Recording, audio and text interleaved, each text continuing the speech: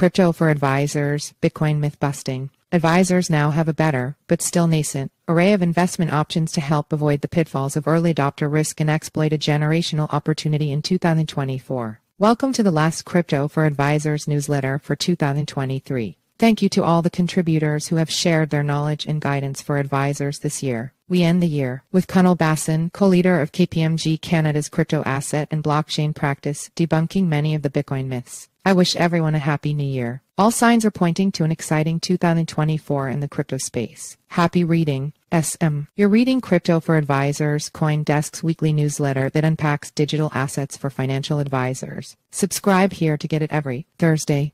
Debunking Bitcoin Myths, a guide for financial advisors. As we embarked on 2023, the crypto world was still grappling with the fallout from the FTX debacle and Terra Luna collapse in 2022. These events catalyzed a contagion in the industry, leading to a significant loss of trust, liquidity issues, and market instability. Despite these challenges, the digital asset ecosystem demonstrated remarkable resilience, with its market capitalization growing till the 150% YTD by the final week of 2023 per CoinDesk charts Bitcoin YTD growth as of DAC 26, 2023. This growth underscores the robustness and potential of digital assets even in the face of adversity. However, despite this growth and resilience, several myths continue to plague the digital asset ecosystem. These misconceptions are often fueled by a lack of understanding, biased perceptions, and persistent stereotypes. As we see increased interest from investors and the looming possibility of a spot Bitcoin ETF in the US, it's imperative for financial advisors to provide educated and unbiased responses to these myths. While I cannot cover all the myths in this article, I will address the most prominent one for Bitcoin i.e., Bitcoin is mainly used for illegal activities and money laundering. In Bitcoin's early days, a small but visionary group of individuals and organizations recognized its potential and the revolutionary technology underpinning it. As Bitcoin gained broader adoption and its value increased, it inevitably caught the attention of criminals, leading to its use in illicit activities, including the infamous darknet marketplace Silk Road, which accounted for nearly 20% of total Bitcoin economic activity at its peak in 2013.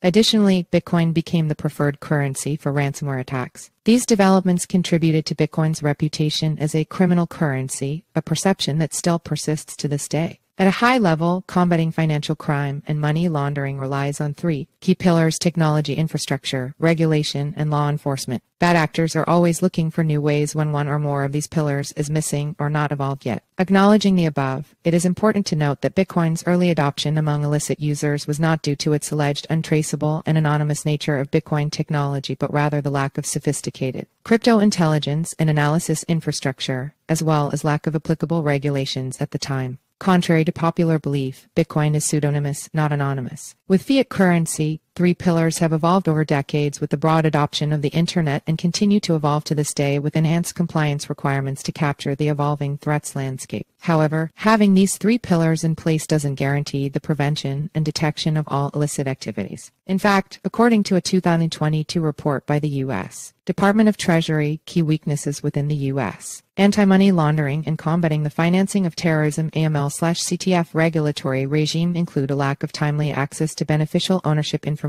of legal entities and lack of transparency in non-finance real estate transactions and use of virtual assets for money laundering remains far below that of fiat currency and more traditional methods. Expecting an emerging technology and users to have all pillars figured out from inception isn't reasonable. Now let's break these pillars down for Bitcoin as it stands today technology infrastructure since 2014, there has been a significant effort to develop and implement infrastructure to prevent, detect, and investigate Bitcoin and other crypto transactions. Today, there are numerous tools available for financial institutions, regulators, law enforcement, and virtual asset service providers VASPs that enable advanced techniques and tools to track and analyze Bitcoin and crypto transactions, leading to the identification and apprehension of criminals in various cases. The level of traceability in Bitcoin is actually higher than in many other financial systems, especially cash where transactions can be much more opaque. While there are improvements underway to enable advanced techniques for crypto activities outside of Bitcoin, such as privacy coins, stablecoins, and DeFi, these are already quite mature for transaction monitoring and reporting crypto institutions. Regulations The view that Bitcoin and other crypto assets are unregulated is a major misconception.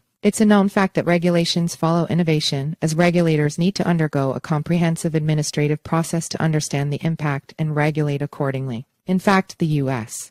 was one of the first countries to subject crypto Exchanges to registration, reporting and record keeping requirements for AML slash CTF purposes when FinCEN classified these as money services businesses MSB in 2013. Many other countries, including Japan and South Korea, followed suit during the initial coin offering ICO boom in 2017-2018. In 2019, Financial Action Task Force FATF issued comprehensive guidance that outlines the need for countries and VASP and other entities involved in crypto asset activities to understand the AML/CTF risks associated with their activities and take appropriate mitigating measures to address them. These have been periodically updated since then. As of today, 83% of G20 nations and major financial centers have enacted or are developing national crypto laws. An important distinction to note in the Bitcoin world is that while there's a reactive component to regulation, there's also a significant proactive effort to understand and regulate this rapidly evolving technology. Law enforcement between 2013 and 2023, approximately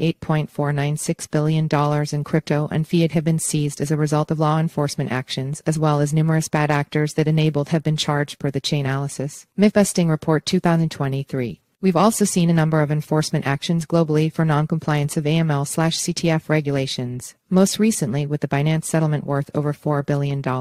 Global collaboration across law enforcement agencies and public-private partnerships is enabling identification and investigation of financial crime in a much more efficient way given the underlying technology and unique characteristics of Bitcoin. Overall, the key takeaway is that with every technological advancement, there's a period of adaptation where benefits are harnessed and risks are mitigated through new regulations, enhanced technology infrastructure, and law enforcement actions. In the case of Bitcoin, it's happening at an unprecedented pace, and the illicit actors are realizing that Bitcoin is not a good instrument for money laundering given the current stature of the three pillars discussed above. Kunal Bhasin, partner and co-leader, Cryptassets and Blockchain Co-E, KPMG Ask an Expert. Q. What tax-related items should investors be cognizant of? Investors should pay attention to whether or not they have realized or unrealized gains or losses in their crypto trading accounts. Each carries unique implications that could greatly impact the next tax year. Realize gains if you have realized gains from selling digital assets this year. Make sure you segregate enough money to pay your capital gains taxes next April. Tax brackets will vary depending on the individual. Be careful when reinvesting proceeds from trades that made you a lot of money. You will owe taxes, and if your new investments lose a lot of their principal, you won't be able to cover your future tax bill.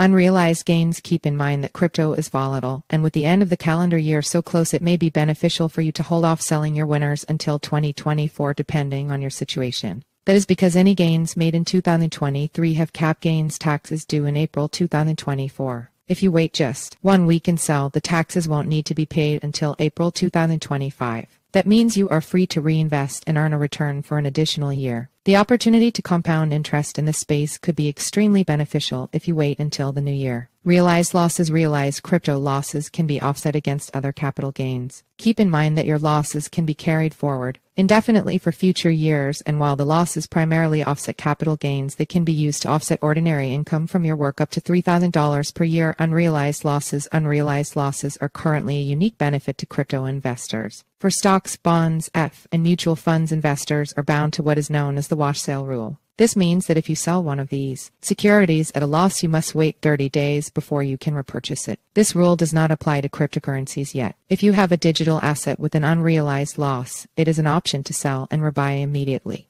Having that capital loss to carry forward called tax loss harvesting can be extremely beneficial even if you can't offset it against a gain this year. Note that with exchange fees, slippage, and general market volatility, you won't guarantee you'll have the same number of units when you rebuy. Until this rule is applied to cryptocurrency, it is a benefit that only direct holders will have. Spot Bitcoin ETF holders will be bound to wash sale rules as they will hold a security, not a digital asset. Brian Kernchesny, CEO, Dame Keep Reading. Bitcoin is among the top 15 global currencies. 2024 Bitcoin price predictions are coming in and they are all over the map. SEC reportedly held a rare conference call with several Bitcoin spot ETF applicants.